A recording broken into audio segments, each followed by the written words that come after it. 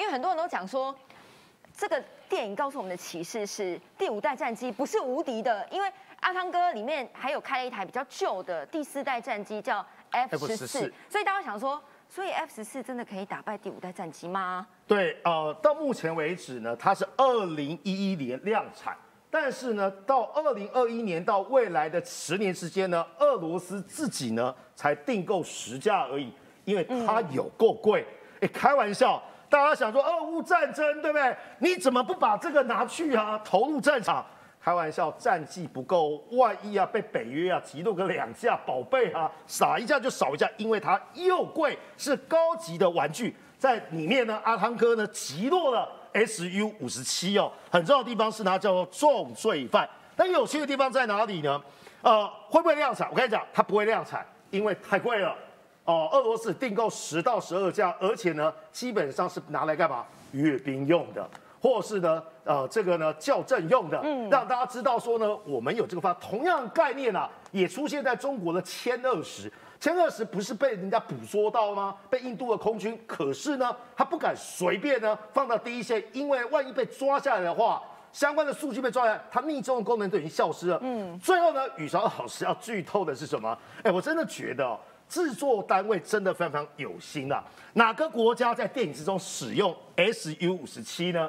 他说呢，是一个呢，呃，流氓国家，然后呢，代号叫做呢铀元素。而我就上网去查一下，铀元素叫做呢，啊，uranium，什么跟伊朗人呃 radium 念起来都很像，这太故意了吧？他就告诉你说，这个坏人呢就是伊朗啊，唯一剧透啊，那个坏人叫做伊朗。第二个是呢，哪个流氓国家这么巧，居然呢 F 十四停在机场之中，能够被阿汤哥给抢回来？哦，伊朗。上次我跟于将军啊同节目的时候我就讲过。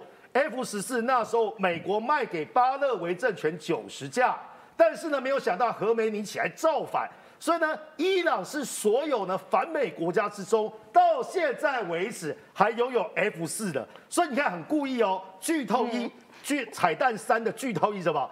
邪恶国家、流氓国家。第二个是呢，呃，铀元素谐音听起来叫做呢伊朗人，铀元素等于伊朗人。第三个，这个铀元素为什么第一两人呢？因为这个坏蛋居然拥有 F 十四，所以说呢，在这里面花絮中只要做一点，里面有一架双的呃呃二战的螺旋桨机，叫做呢 P 五十一野马式战机，那个是阿汤哥他自己的，他自己无偿呢拿来做呢道具呢，最后在一幕很浪漫的，不能完完全全在剧透，他很浪漫的前妻送给他的，对他前妻送给他的。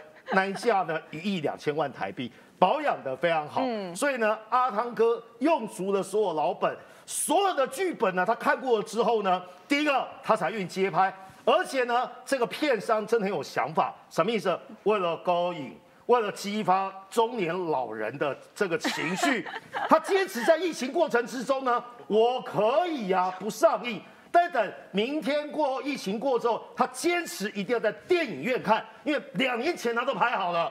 本来大家想说呢，拍好了，像我一直在看说，那可不可以上上线啊？他坚持要到实体，让你感受到那个音乐跟氛围，好像走过时空隧道，回到雨超老师十五岁的那一年。